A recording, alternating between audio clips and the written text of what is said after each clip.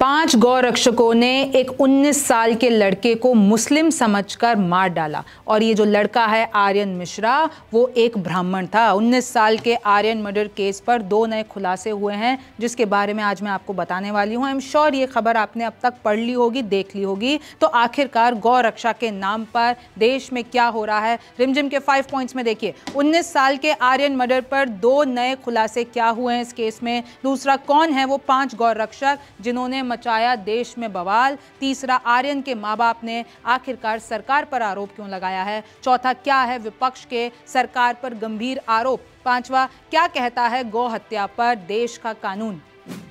नमस्ते, मेरा नाम रिमझिम जेठानी है और आप रिमझिम के फाइव पॉइंट्स देख रहे हैं। सबसे पहले आपको कहानी समझाती हूँ और वो दो नए खुलासे बताऊँगी जो इस केस में हुए हैं। ये मैप देखिए कि ये जो वारदात हुई है, वो कहाँ हुई है? ये फरीदाबाद से लेकर पलवल के बीच में आपको जो ये स्ट्रेच दिख रहा है, तीस किलोमीटर तक। तीस किलोमीटर एक गाड़ी में जो आर्यन मिश्रा था, जिसकी मौत हुई है, उसको दौड़ाया जाता है। फिर पॉइंट ब्लैक पर उसको गोली मार दी जाती है। आसपास के इलाके आप देख रहे होंगे न्यू दिल्ली गुरुग्राम नोएडा ग्रेटर नोएडा तो ये जो पूरा मामला हुआ है वो हरियाणा में हुआ है। ये देखिए, ये वो आर्यन मिश्रा जिसकी अब मौत हो गई है, इस गाड़ी में वो सवार था, रेड कलर की डस्टर है। आगे देखिए, जो आरोपी है अनिल कौशिक, उसकी तस्वीर मैं आपको इस गोले में दिखा रही हूँ। अब सबसे पहला पॉइंट यही है कि 19 साल के आर्यन मर्डर पर आखिरकार दो नए खुलासे क्या हुए हैं? तो देखिए, हरियाणा की ये घटना अब तक आपने सुन ली होगी, मैं आपको बता देती हूँ। पाँच गौ रक्षकों ने एक 19 साल के लड़के को गोली मार दी। उनको ये लग रहा था कि वो गौ तस्करी कर रहा है और उनको ये लग रहा था कि एक मुस्लिम लड़का है। बारहवीं का ये कक्षा का छात्र आर्यन मिश्रा मर्डर केस में। आखिरकार हुआ क्या? शनिवार को 24 अगस्त को रात एक बजे इस कार में पाँच लोग मॉल के लिए निकलते हैं नूडल्स खाने के लिए। अब मैं आपको इसकी दो कहानियाँ सुनाने वाली हूँ। सबसे पहला दावा यह है कि मॉल में नूडल्स खाने निकले ये पाँच लोग। ये पाँच लोग कौन कौन होते हैं? मकान मालकिन सुजाता, इनके दो बेटे हर्षित गुलाटी हर्षित गुलाटी ड्राइवर और दूसरा बेटा शैंकी। साथ में इनकी दोस्त होती है कृति शर्मा। आर्यन को आधी रात बुलाया जाता है, यानी उस गाड़ी में पहले से ही ये सारे लोग होते हैं। फिर कॉल करके आर्यन की माँ को बोला जाता है कि आप आर्यन को भेज दो। तो आर्यन भी अपनी माँ को बोलता है कि मैं थोड़ी देर में आ रहा हूँ, एक चक्कर लगा के आ रहा हूँ, ये रात की बात है। फिर उसके बाद क्या होता है, किसी ने इन लोगों को टिप दी, यानी जो ये आरोपी हैं ये जितने भी गौ रक्षक हैं, उनको ये टिप मिलती है कि इस वाले रूट पर उधर एक एसयूवी है, जिसमें गौ तस्करी हो रही है। यानी किसी ने गौ तस्करी की गलत जानकारी दी आरोपी अनिल कौशिक को, जिसने गोली चलाई। और देखिए, रात में आरोपी कौशिक के जो पाँच लोग हैं, जितने भी गौ रक्षक मैं आपको बता रही हूँ पाँच, वो रात में निकलते हैं। उनको दिखता है कि एक ही एस जा रही है, उनका पीछा करते हैं। लेकिन जो डस्टर है, उसने अपनी स्पीड बढ़ा ली। उसके पीछे जब वो आए तो उन्होंने ओपन फायरिंग शुरू कर दी। दी और उसके बाद जब एकदम करीब से जाकर मारा तो उसमें से चार लोग, डस्टर में ये जितने भी लोग हैं, वो सब बच जाते हैं। लेकिन आर्यन मिश्रा, उसकी मौत हो जाती है पॉइंट ब्लैक पर उसको गोली मार दी जाती है। अब दावा नंबर दो क्या है? थोड़ी सी कॉम्प्लिकेटेड स्टोरी है। ये पहली स्टोरी तो आपको समझ में आ गई, दूसरा देखिए। कहा यह जा रहा है कि गुलाटी परिवार, यानी ये जो है मकान मालिक सुजाता, इनके दो बेटे और इनकी एक दोस्त कृति शर्मा, ये सब मिले हुए थे। और जो ये गुलाटी परिवार है, ये जो दो बेटे हैं और मकान मालकिन हैं, इनकी ये रची रचाई साजिश है। गुलाटी परिवार ने बेटे शैंकी को बचाने के लिए रची थी कहानी।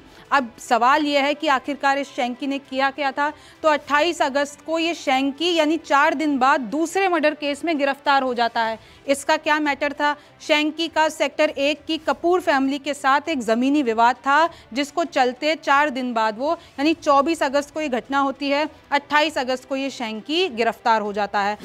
और मकसद क्या हो सकता है कि गुलाटी परिवार आर्यन की मौत दूसरी गैंग पर डालना चाह रहा हो? यानी इस कपूर फैमिली पर कि ये जो गैंग राइवलरी है, यानी ये जो आपसी दो गुटों की लड़ाई है, उसके चलते हम लोगों पर फायरिंग की गई, जिसमें आर्यन मर गया। इस तरीके से कॉन्स्पिरसी थ्योरी बनाई जा रही है। जैसे ही स्विफ्ट आई, शैंकी को लगा कि पुलिस उसको पकड़ने आई है, क्योंकि बत्ती जल रही थी। तो उन लोगों ने जब गाड़ी बढ़ाई तो ये जितने भी पाँच गौरक्षक बैठे थे, यानी जो पाँच लोग आरोपी बैठे हुए थे उन्होंने गोली चलाना शुरू की और फिर जैसे ही हर्षित ने गाड़ी भगाई और उन्होंने उसको गोली मार दी, जिसमें आर्यन की मौत हो गई। पुलिस ने अभी तक गुलाटी और गौ तस्करों का कनेक्शन नहीं निकाला है, लेकिन इस तरीके से इन्वेस्टिगेशन में सामने आने की बात कही जा रही है। आर्यन की माँ उमा मिश्रा का दावा है कि पहली बार आर्यन फ़ोन नहीं लेकर निकला था।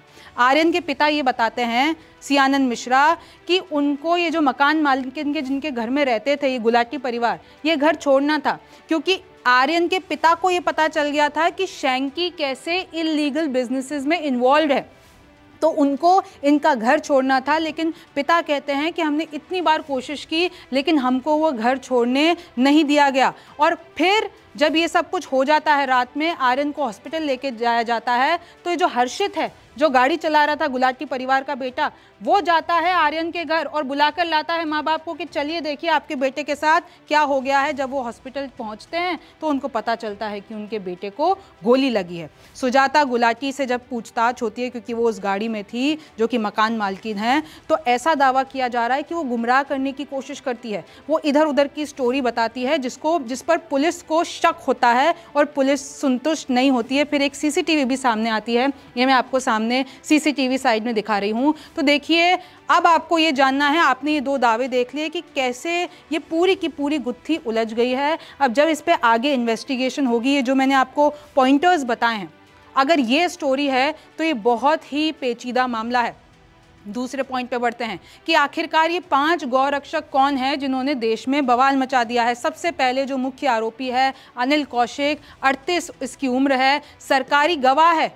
बहुत बार इसने सरकारी गवाह की तरह काम किया है क्योंकि ये एक्टिव वर्कर है। ये एक जो है पूरी संस्था के साथ जुड़ा हुआ है, जो कि गौ तस्करों की पूरी की पूरी टिप ऑफ़ देते हैं, उन पर नज़र रखते हैं। सारी चीज़ें, कई बार ये सरकारी गवाह भी बना है ऐसे मामलों में। गौ तस्करी शिकायत करता है, पुलिस को जाके शिकायत देता है और लाइफ फॉर नेशन से जुड़ा हुआ है। हरियाणा गौ सेवा आयोग से जुड़ा हुआ है, उसका सदस्य है। अनिल कौशिक को फरीदाबाद का मोनू मानेसर कहा जाता है। मोनू मानेसर, आपको पता होगा, मोनू मानेसर को राजस्थान पुलिस ने किया था गिरफ़्तार और आरोप था, यानी दोषी था, भरतपुर के नासिर जुनैद को मारा था, गौ तस्करी की शंका में ये पूरा का पूरा कांड हुआ था। अच्छा मुख्य आरोपी तो आपको पता चल गया, इसके अलावा चार और आरोपी हैं, वरुण, कृष्णा, आदेश और सौरभ, ये बाकी के चार आरोपी हैं। अब देखिए, अनिल कौशिक की माँ ने किया है बड़ा दावा। क्या बड़ा दावा किया यानी आरोपी की माँ। वो ये कहती हैं, मेरा बेटा निर्दोष है, सेवक है, वो समाज कार्य करता है और पहली गोली डस्टर के अंदर से चली।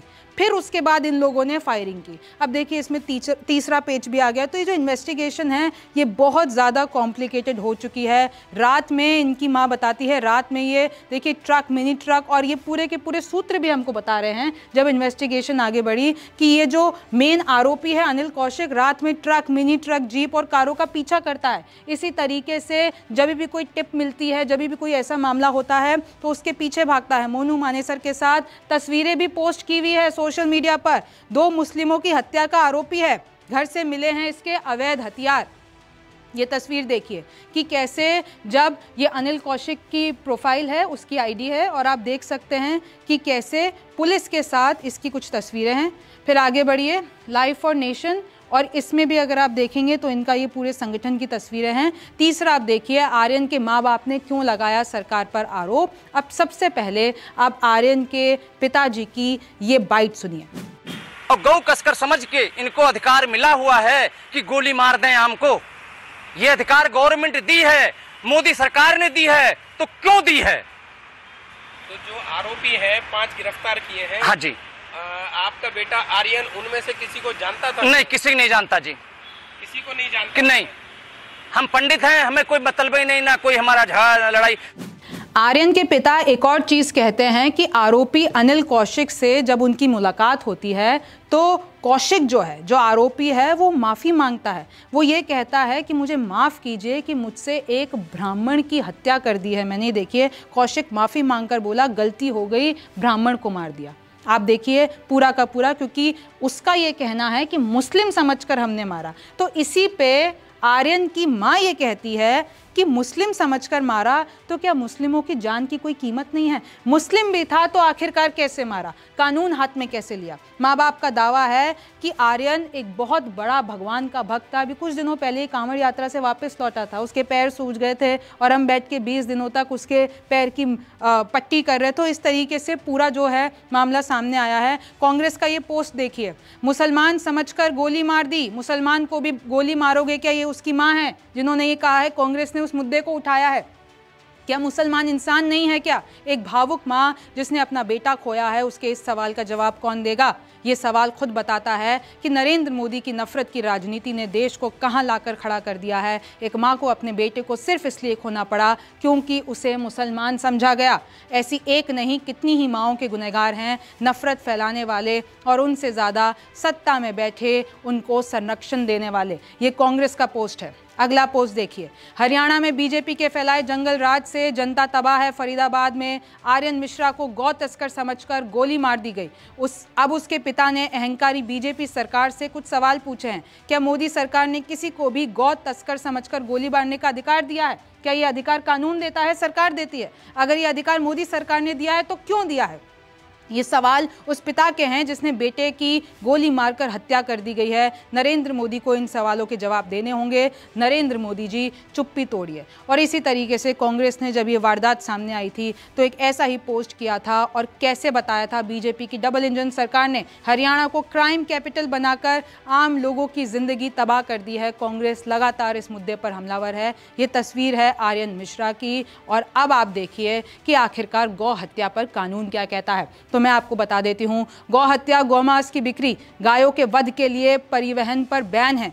सात साल तक की जेल और दस हज़ार रुपये तक का जुर्माना, और अभी सात साल की जेल है, वो दस साल की भी हो गई है। भारत में गौमांस का निर्यात प्रतिबंधित है। मांस में अस्थि, शव, भैंस का आधा शव भी निर्यात बैन है। उत्तर प्रदेश, दिल्ली, महाराष्ट्र, मध्य प्रदेश, राजस्थान और भी ज़्यादा सख्त हैं इन मामलों में। ये देखिए, ये वो लॉ मैं आपको बता रही हूँ। The ban on cow slaughter bill 2019 और आप देख सकते हैं, इसमें साफ़ लिखा हुआ है कि कैसे 10 साल तक की सज़ा, एक लाख तक का जुर्माना, यानी पूरा मामला बैन है गौरक्षा के नाम पर। नज़र रखना। अब सवाल उठते हैं कि अगर आप किसी ग्रुप से जुड़े हुए हैं, पूरा मामला बैन है लेकिन आप कानून को अपने हाथ में नहीं ले सकते। गौरक्षा का काम नज़र रखना है, पुलिस को बताना है, गौरक्षकों के पास आखिरकार हथियार कहाँ से आते हैं? सज़ा देना, कानून हाथ में लेना, मॉब लिंचिंग, ये सारी चीज़ें अपराध हैं और मैं आपको बता दूँ कि भारतीय न्याय संहिता में इसके कड़े प्रावधान भी है। तो अब जो मैंने आपको पूरा केस बताया है, इसके जितने भी एंगल्स बताए हैं तो देखिए, अब ये मामला कब खुलेगा? इसकी कितनी परतें और खुलना बाकी हैं और इसके इन्वेस्टिगेशन में आखिरकार क्या खुलासे होते हैं, ये तो वक्त बताएगा। आप न्यूज़ 24 देखते रहिए, रिमझिम के फाइव पॉइंट्स देखते रहिए। मैं हूँ रिमझिम जेठानी, आपसे फिर मुलाकात होगी।